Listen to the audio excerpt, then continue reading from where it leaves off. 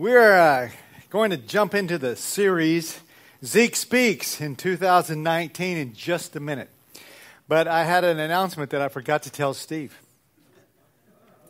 So I'm making it myself. It's about summer camp. We go to summer camp in the Bronx, New York. That's what we do. Some people may go other places. We go to the Bronx, right? And uh, so uh, the time that we're going to do that this summer is uh, the second week in July. It's the second week in July. It's the uh, week, and I wrote it down, you know, so remember, it starts July the 7th. That's when we're going to start. Now then, Kimberly Ball, drum roll. Oh, drummer's gone. Uh, yeah. Kimberly is going to help us with all the logistics about finding a place and going and stuff. So we need to talk to talk to Kimberly if you're interested in going. If that's a problem, you want to go, but you can't go then, tell us then too, and we'll figure out something. Uh, we'll sneak in someone else's suitcases on a different week than we're supposed to go. But uh, it's a great thing we've done. Uh, I'm going to be there. Looking forward to joining a bunch of you in the Bronx, New York on Sunday, July the 7th, and that following week. And so, if you have some more information that you want to give to Kimberly, please do that. Uh, she'll be emailing all of us about some other things we need to know. Uh, and so, just be ready for that, okay? Also, some of you were here last week and saw the great skit that was performed by myself uh, and, you know, also Emily and Georgie. I want to say mostly it was me, but no, I'm probably not.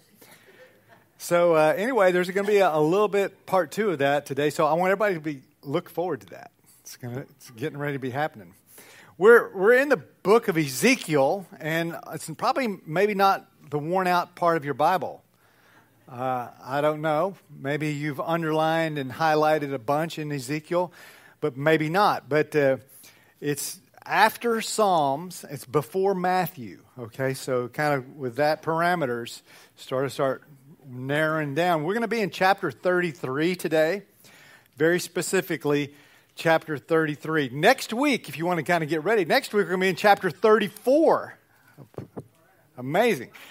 Sometimes we don't go in order. Sometimes we skip over a bunch of stuff. Sometimes we go back. But this, this time we're going boom, boom, just like that. Uh, last week was pretty significant uh, about the fall of Jerusalem. And I appreciate so much Danny's thoughts today. And in a sense, Danny, they fit today as the great kind of reminder about what we talked about last week, which is really helpful, I think because uh, I'm a guy that likes a little bit of continuity. I know some of you, it's like, what? We're in Ezekiel? I didn't know that. That's okay. That's okay too. Uh, God's speaking in so many different different ways here. So, the fall of Jerusalem is what we talked about last week. And for those of you, I'm going to summarize in just one sentence. Okay, the fall of Jerusalem represents whatever or whoever has become more important to you than your relationship to God. If there's something that's more important to you than your relationship with God, that's what Jerusalem and the temple were to the Jews. Jerusalem had become more important than God. The temple had become more important than God. So God, pooh, He wiped it out. And some of you may have experienced something like that before in your life. I have where a job had become more important to me than, than my relationship with God. God's, boom, we're done with that. Oh my gosh, you know, how can I live without that? And, so, even the guys, even the psalm that, that Danny was quoting today, how can we possibly sing when we know that Jerusalem is in ruins? Because you see, Jerusalem had become more important than God. They could have said, We can sing because God is still on the throne. No matter what's happened in your life, no matter what horrific events have happened in your life, God is on the throne and He is working even in our pain for our good. Now, that's sometimes difficult to think about. And, and for, for us to have that, we have to have a futuristic kind of look like tomorrow and the next day and the eternity is where God often is going to make his promises come true. Well, today we're going to venture into chapter 33. And to prepare for chapter 33, we're going to read, this is interesting, John chapter 1. Now, you don't have to read, you don't have to go there. I'm going to put up on the screen, and Jeanette's going to do something with the lights. Uh, and, and, we're going to just read John 1 uh, together, and we're going to read it just silently on the screen here. And this is how we're going to begin today. I'm going to let you read it first silent after a moment, and I'm going to read it and go to the next part. So, everybody's going to read quietly.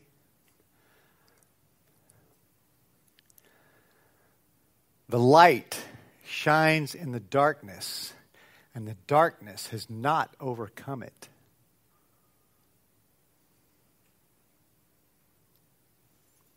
The true light that gives light to everyone was coming into the world.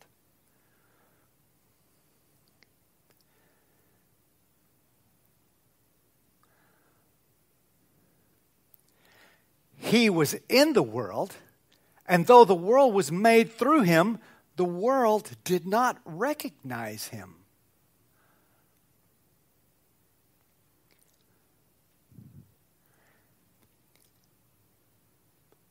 He came to that which was his own, but his own did not receive him.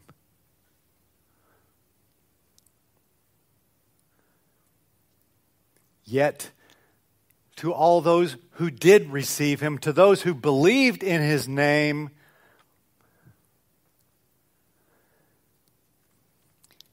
he gave the right to become children of God. the watchman. Today we're going to talk about the watchman. There's a message that there are two paths light and darkness. You heard that. Life and death. Some choose darkness, even when light and life are available, they choose darkness and death. So God sent messengers to tell all of us about there's two options, especially those who are choosing darkness. He said, Hey, there's another option. It's light. First John chapter 1 describes when God sent his son as one of those messengers. But Jesus wasn't the first messenger that God had sent. Before that, and after that, after the days of John, God has sent messengers and continues to send messengers. Some, like Ezekiel, were called watchmen. And so we're going to talk about the watchman today. The watchman. And we're going to do it from the perspective of Ezekiel's time. But remember, Zeke speaks not just back then, but also right now. So you, as you hear this, you're going to think, okay, how is this story that is a story from a long time ago, what relevance does that have to me? Any? Well, I think yes. So, first of all, Ezekiel 33 tells us the job description of the watchman is this do what I say. Boom. Pretty simple. Some of you have a boss at work how many of you have a boss at work? How many of you are the boss? I love Kevin. He's the boss. Kevin has guys who work for him, right? And when Kevin says do something because he's the boss, he expects the guys who work for him to do it. And this is God and the watchman. God says, You're the watchman. Here's your job description. Do what I say. I'm going to tell you to do some stuff. You do what I say. You're the watchman. Now then, what does God say? This is what God says warn the people. the job of the watchman was to warn the people. Now, God, Ezekiel was God's specific watchman, but villages and towns and cities also had watchmen in those days. And the watchman had a job to warn the people for things that were coming. This was something, and, and if we were in a church like we are here today, and this was our village, let's say we were in a village, and we in this village, we're going to look around and we say, who could be our watchman? Let's look around. Uh, well, he's not here right now, so that's important because to be the watchman, you need to show up. But that'd be Noah. I would pick Noah for a watchman. But but since he's not here, watchman number two is I'm going to think it's got to be kind of alert, somebody who kind of knows something, what's going on, and not distracted easily. I'm going to pick Danny. He's the watchman. But his job is if you see a storm coming, you're going to tell everybody, hey, storm coming. Okay? If you see an enemy coming to attack, hey, enemy coming to attack. Get ready. Whatever it is, you know, if there's a wolf that's eating the sheep. Uh, uh, hey, wolf in the area. This is the job of the watchman. His job is to watch and then look. Now, then we also have some warning uh, signs and warning people and warning things in our culture today. Like, for instance, uh, the warning light on the dashboard. And a lot of times today, today's watchman words, warnings are also annoying, right? And how many of you have that light that comes on your dashboard? It comes on and it, you don't know why. It's just on. And you think, why is that on? Is my car going to blow up or what? And so you think, I should take it in. And they, you take it in, they tell you, oh, nothing's wrong. Oh, why did the light come on then? I hate when the light comes on and there's nothing wrong. Because then when the light comes on and I think nothing's wrong, then my engine's going to blow up. You know, this is annoying.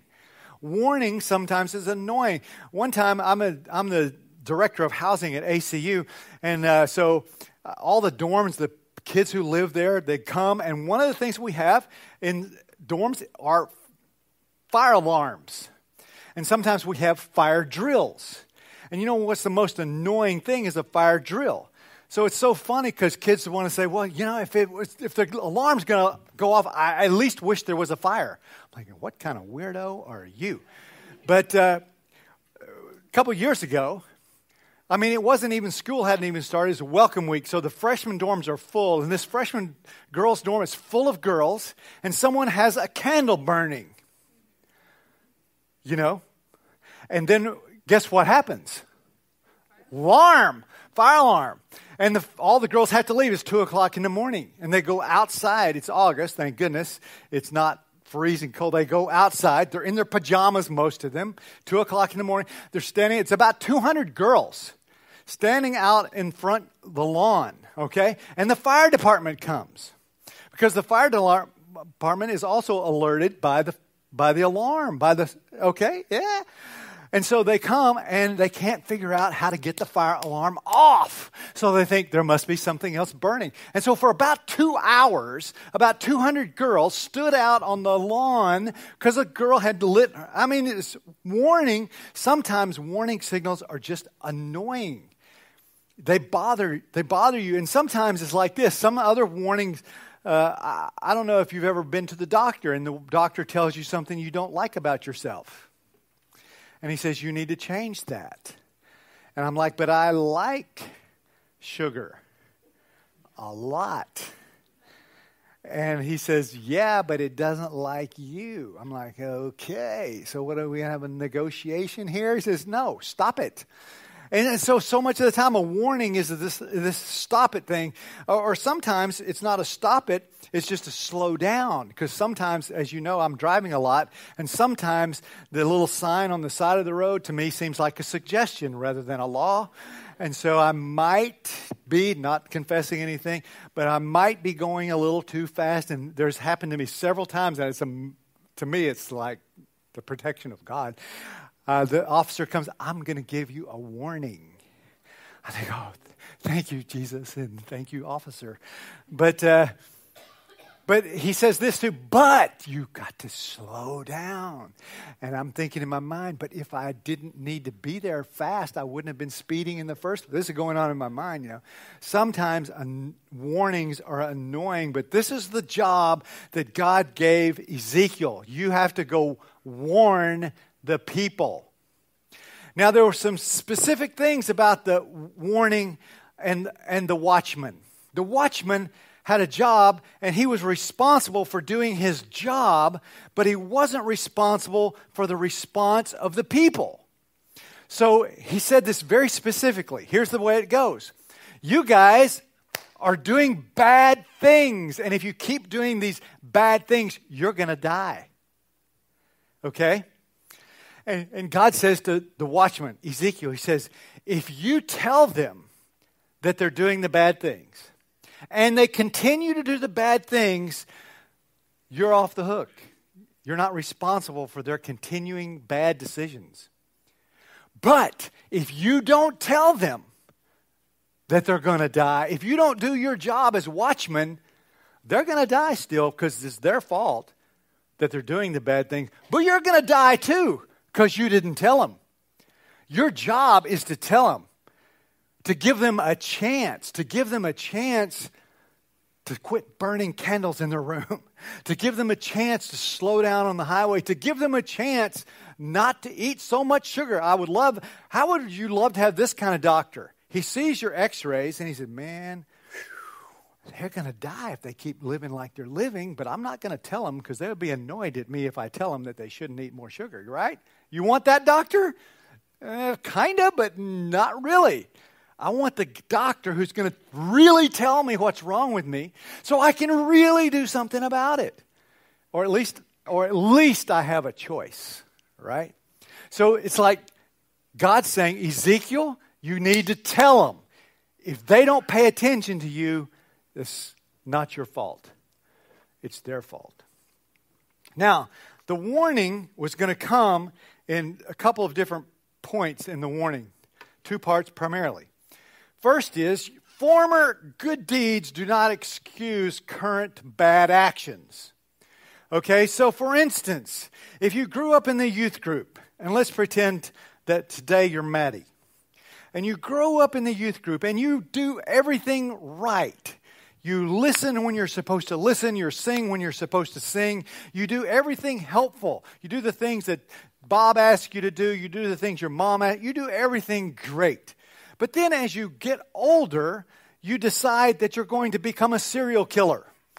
But you're a very good one and you never get caught until the watchman comes and says, Hey, Maddie, I, I know you were a really great kid in youth group, but now you're a serial killer. You're going to die. You're going to go to the electric chair if you keep killing people. Stop it. Well, you might already have to go to the electric chair in that case. That's not a good example. But the, the point is, you can't store up good deeds in the past and hope that those good deeds now excuse you for being a bad actor now. Does that make sense to you? You understand? Well, the other point is former bad deeds also don't condemn a person who repents. So, okay, but what if I was instead, I was Emily and I was a troublemaker in the youth group? and I went to sleep during the sermon. And, and I didn't do what my mom and dad said. And I was just a wreck in the youth group. So now, am I doomed? Is it over for me? And I would say, not if you wake up during the sermon. Take notes. Stick yourself in the leg with a pen, you know, do something. So it comes down to what does this word repent mean? Because if you repent, the message of the watchman is hey, uh, bad stuff is on its way. And the only way for you to escape the bad stuff is to repent. Well, what is that? Okay, repent means first, first is turn around. So you're, you're going a direction you know, in, in life. And, and repent means I stop, oh, turn around, and go back. I'm going the wrong way and I'm going to turn around and go the right way. Also, it means this, though it means to return to your previous something, and specifically path, home, or love. So you're on a path, and you're on the right path. And let's say, once again, I'm going to take, oh, Emily, because she's available. And I love it that she is, because in a minute she's going to do a reprise of the great skit done last week. Okay? So uh, she's, she's on the right path to graduate from high school, right? And you're going to graduate at a certain point, right?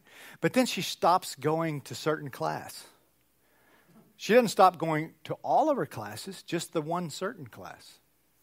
And so it seems like she's not totally given up. She's sort of, but she's not on the right path. All right? And you know how it is. If I was on a path walking, and I was walking from here, I was going to go out the door. I don't have to just turn around and go this direction to miss to be off the path, right? I could just be slightly off the path.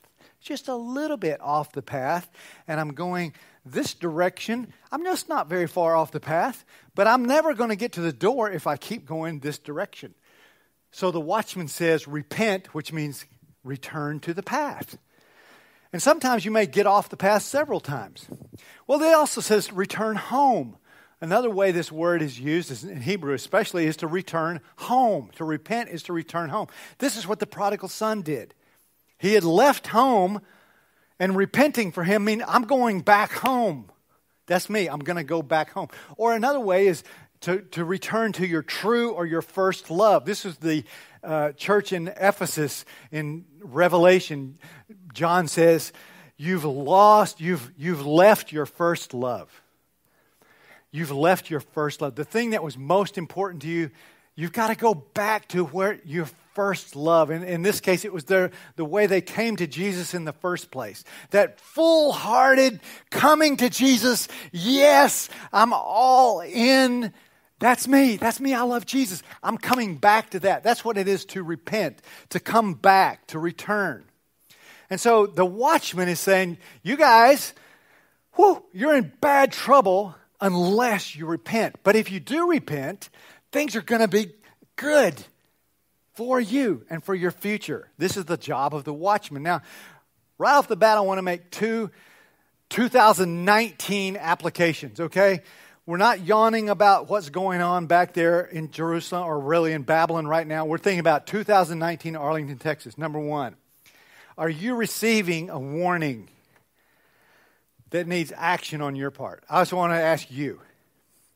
I'm not asking you as a congregation right now. I'm asking you as an individual. I'm asking Leanne. I'm asking Michelle. I'm asking Joe. Is there something that the watchman the Holy Spirit is saying to you right now that needs action on your part. We're going to come back to that in a minute, but I want you to think about this as the message of the sermon today. Is there something in your life that needs to be addressed? This is a warning. Address it. Second, is there a warning that you need to speak to someone in your sphere of influence? I'm not suggesting that, you know, we get signs. This is what, you know, maybe Alan would have done back in his days. Uh, a big sign and say, turn or burn. You know, this is not what we're trying to do. You know, the end is coming. You're going to go to hell if you don't be like me. You know, this is not what we're talking about. But is there someone in your sphere of influence, someone you love, someone you know, that they are headed in the wrong direction? They've lost their first love. And they you need to speak to them. Now, there's a difference between what I'm asking you to do and nagging. Okay? Or or or judging. And so I, I've, this is one. This is not the only way. Sometimes maybe you need to be a little more confrontational than this. Uh, but I read in Facebook this week a confession by one of our friends, and I'm going to read it to you because, after all, it was uh, on social media, and, and so if you don't want it on social media, if you don't want it to be read in church, don't put it on social media. the way it goes. Here's what he wrote. Some of you will recognize this person. I didn't want to go to the gym. Like, I really didn't want to go. Does anybody know who this is so far? Okay, yeah. I outed him. I had Long John Silver's for lunch. But my partner told me that she was going. She didn't make me go. She didn't remind me I ate crap like crap for lunch. And that's what it takes to make it. You have to surround yourself with positive, supportive people, parentheses, watchmen.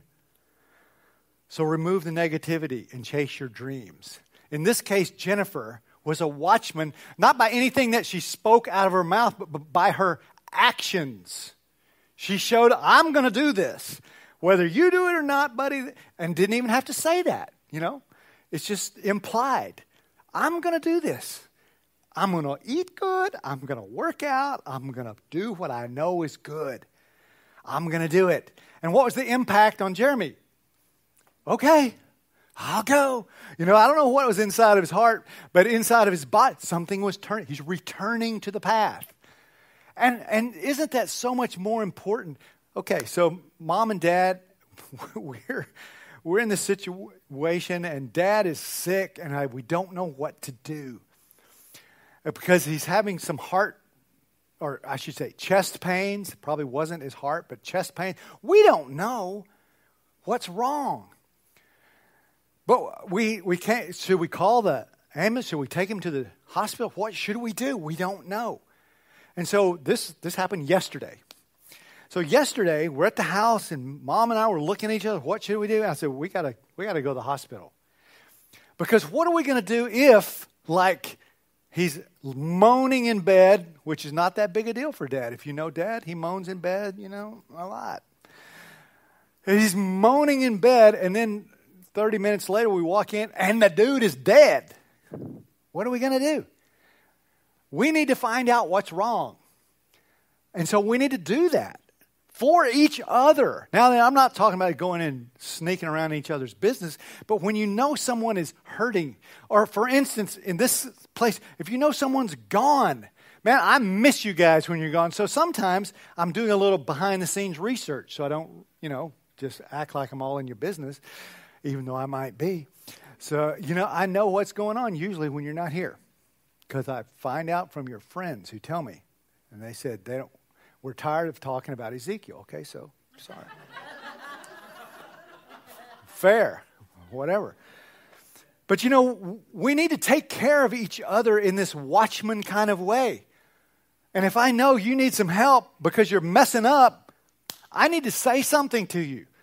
Not in judgment or nagging, or maybe I don't need to say something. I just need to invite you to come with me. Or I just need to say, This is what I'm doing. How about you? Is there somebody who needs to hear from you? Because you're the watchman.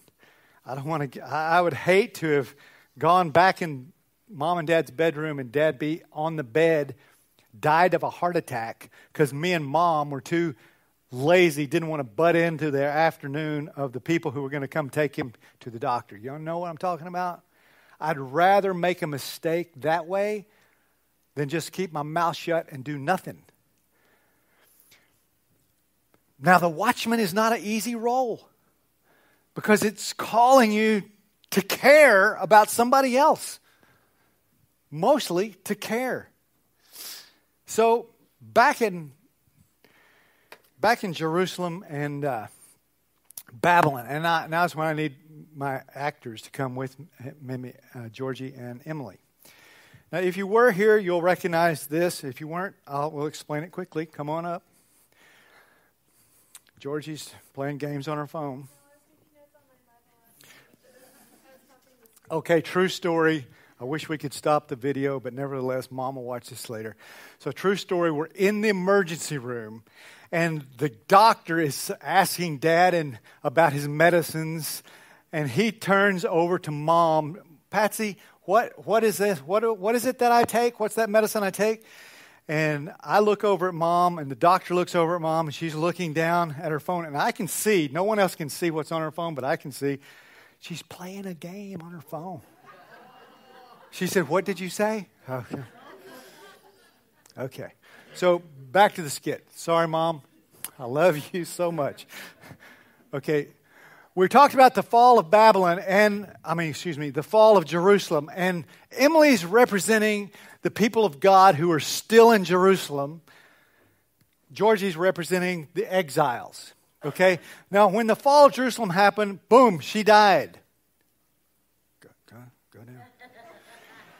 Now, then, when she died last week, she kind of semi died because she was sort of sitting up. Go ahead, sit up.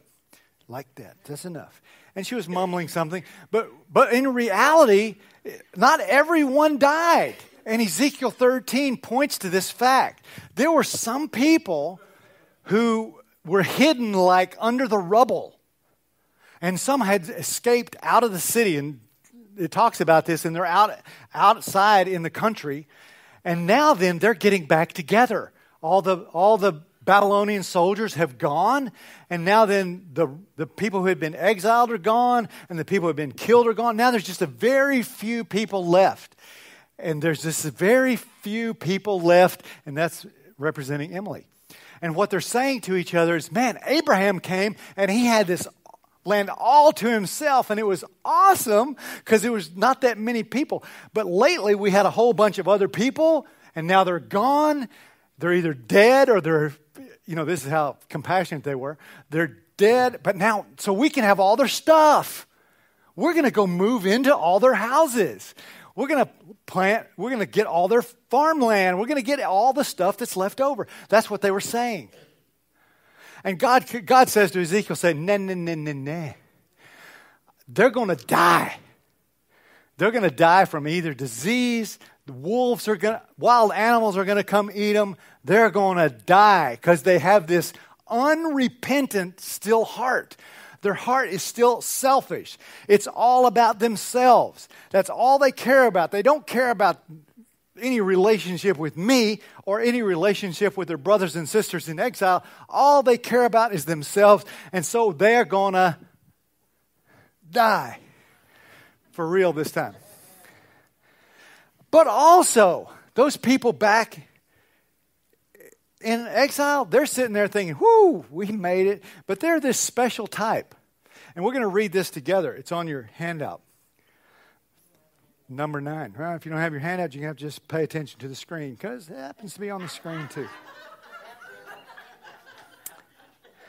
I forgot to hand out the handout. And I was going to talk about the handout. But here's, here's number eight the survivors in Judah, that's Emily, they missed the point. They missed the whole point. But so did the exiles. So here's the way it is in the exiles. And if you would read with me, verse 31 is where it starts on your handout that now Jackie has.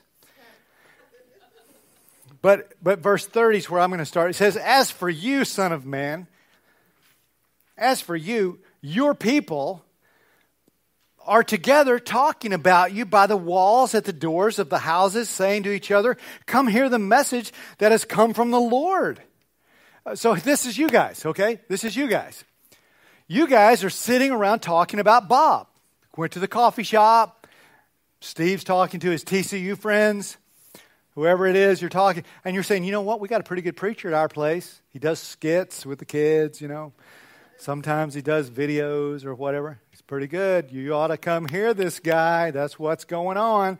And for Ezekiel, I mean, he was really, they loved his sermons because he would use like prostitutes and, you know, stuff like that. And then, whoa, wow, you can't believe what our preacher said in church. You ever been to a sermon like that where you went and you thought, oh, the preacher said something? Hmm, no one ever says that in church. Yeah, that's what they were doing with Ezekiel. And so it said where your handout starts. My people come to you as they usually do, and they sit there before you to hear your words, but they do not put them into practice. Their mouths speak of love, but their hearts are greedy for unjust gain. Time out. I want to take a time out here. It's amazing to me in the book of Ezekiel, the sin that they talks about most of all is greed. It's just they're greedy. They're always it's always about that. Whether it's the exiles or I mean the people left in Judah who think they're going to get to take over now the land that these other their neighbors have been gone. Now I can take my neighbor's stuff. Or it's the exiles. Uh, anyway, just to me. Back to the handout. Indeed, to them, you, preacher Ezekiel, to them, you are nothing more than one who sings love songs with a beautiful voice and plays an instrument well, for they hear your words, but they do not put them into practice. This is, this is the warning that I'm giving you back to those action, that act, those points, those, uh, what, I, what I call them there. Yeah, applications. Back to the application. Is there someone you need to speak to? Well, just don't sit here and, yeah, there probably is. Do it. Is there something that God is telling you to do or not? Do what He says. Okay, sermon, fine, but do what He says. Now then, uh, one last story, maybe. Nope, not today. Here's the thing today, even though we may hear that, y'all can go now, Emily, Georgie, thank you even though you're both in the skit, you're both really not paying attention to God. So we wish you would. There'll be a skit later where you do. We'll see what that looks like. Uh, for you guys, for, for our world, there's light in the world. The light has not overcome, I mean, the darkness has not overcome the light. The darkness can't overcome the light. Now, our choice are we going to live in the light? Because we can. I want to, these questions, uh, in my craziness, I sometimes think that a handout, that when I started having handouts, you know, when I first started coming to preach, I thought, this is what I used to think. I've learned better, but I used to think, you know what? People are going to take these handouts and they're going to read them and they're going to fill in the blanks and they're going to take them home and they're going to read over them again and study the scriptures and think about that stuff. That may or may not happen, but these right here, these seven points, I think they're good. These are for us today. Application. What is a teaching you want to explore more thoroughly? I'm the watchman speaking to you. What's the Holy Spirit prompted you to do recently? What is some habit or activity that you need to stop how is God leading you to redirect your resources? I mean by that your time and your and your energy and maybe your money. What do you need to do less so that you can invest more into the advancement of the kingdom of God? Who is a person you need to forgive? And in what ways do you need to forgive yourself and move on into the present moment? Think about these things when you go home. Today, though, we're going to end singing the song, Shine, Jesus, Shine, because the light is still shining, more powerful than the darkness. And as watchmen, as watchmen for each other, I, I want us to sing the song like this is, this is who we are. We are these people who care and love each other, and we won't mind saying so. Okay? Let's stand and sing.